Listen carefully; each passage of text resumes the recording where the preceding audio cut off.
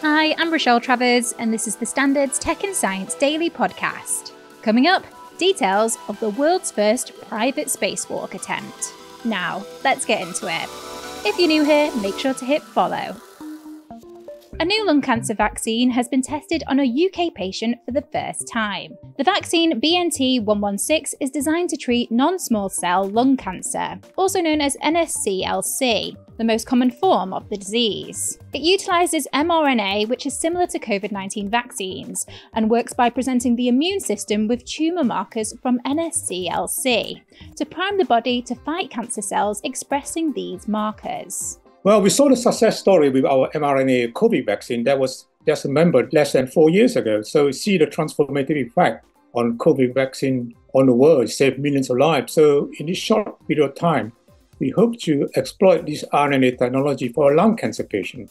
That's Professor Siow Ming Lee consultant medical oncologist at University College London Hospital's NHS Foundation Trust, and chief investigator for the trial in the UK. He's also professor of medical oncology at University College London. So, a similar concept, targeting antigens on our lung cancer cells, and then we hope to give this vaccine. We know it's well tolerated alongside our standard treatment. So, standard treatment nowadays, especially immunotherapy, has improved the prognosis of many of lung cancer patients. So, we hope by adding this additional boosting agent, we can help many lung cancer patients worldwide. The phase 1 clinical trial is the first in human study of BNT 116, which will be given to lung cancer patients alongside standard immunotherapy. This is an early study, so we're looking at safety issue. We're giving multiple vaccine jabs uh, over a period of one year, unlike the COVID vaccine, and we hope it can be a big game changer for, for lung cancer.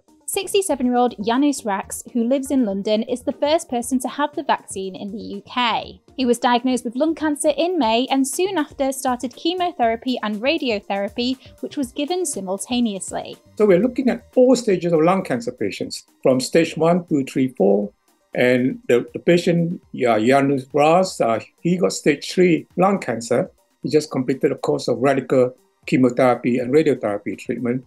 And hopefully, by adding this mRNA vaccine alongside his immunotherapy treatment, we hope we can control disease longer and try to prevent the, the, the cancer coming, coming back. The trial will take place across 34 research sites in seven countries, with six located in England and Wales. Overall, it's hoped around 130 lung cancer patients will be enrolled, 20 of whom will be based in the UK. Professor Lee says although we're in the very early stages, things look promising so far.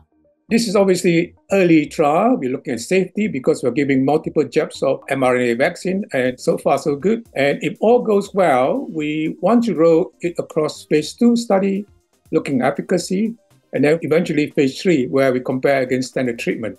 So it takes many years of work, but by encouraging patients to participate in the trial, we hope we can short circuit the, the study, just like we did with our first mRNA COVID vaccine. So the impact can be enormous for lung cancer patients. Now, if you're in London Docklands this weekend, you may want to look up because there'll be a 2.5 tonne block of ice suspended from a crane. But don't worry, this is all part of a performance called THAW by Australian physical theatre company Legs on the Wall to highlight the impact of climate change. THAW is an outdoor, durational, spectacle aerial installation artwork hung at 20 meters with a performer on top of the ice as it melts away over a eight hour period. You're sort of out in the elements. You're probably dealing with hot sun but you've got you know you're wearing a full wetsuit to manage the cold as well. And if you hit the ice it's like hitting rock. So it, it's big we caught up with artistic director and show creator Joshua Thompson to find out more. The choreography is is sometimes massive and they're running and jumping and, and leaping from the ice at, at 20 plus meters in the air. And sometimes they're running around the side of the ice form. There's some aerial acrobatics, but then there's some really beautiful moments of just sitting and being. Don't worry, Joshua reassures us that all performers taking part will be safely harnessed. He says the inspiration comes from Australian bushfires he witnessed in 2019. We were waking up to red, sunny, like this, it was summer, but the sky was red I remember being just outside where I'm doing this here, this recording, and sitting there with my dog, and ash and burnt leaves were falling on my property like snow. And the fires, you know, and my, the closest fire to me was around 80 to 90 kilometers away. And yet there was a doomsday feeling about it. The show first performed at Sydney's Opera House, but why are they bringing the show to London? I, I understand there's hypocrisy in exactly what I'm doing. Like the show takes energy to tour it to London takes it does have a have a cost on the planet and I understand and I acknowledge that but I always believe that the idea is worth that cost. And the idea of planning it in local Londoners or tourists in London, you could never really measure what that idea, like Inception, right? Like it, it grows in people. It, it could mean something to a young boy or a young girl that they grow up and they do something amazing with that in mind. The performance is on at Greenwich and Docklands International Festival.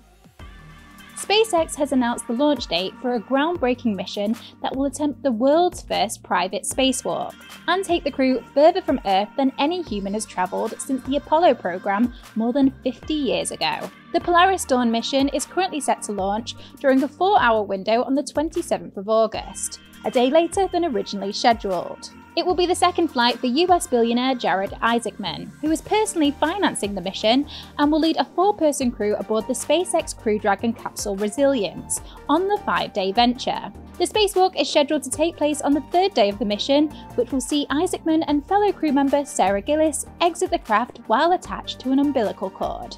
Let's go to the ads. Coming up, a new dinosaur is discovered with power eyebrows. Welcome back. A volcano in southwestern Iceland has erupted for the sixth time since December.